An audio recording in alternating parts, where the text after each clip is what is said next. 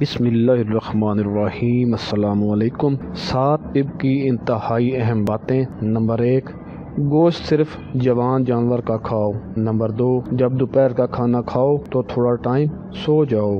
Number تین، جب شام کا کھانا کھاؤ تو چلو چاہے کانٹوں پر چلنا پڑے۔ نمبر چار، جب تک پیٹ کی پہلی غذا ہضم نہ کر لو، دوسرا کھانا نہ کھاؤ۔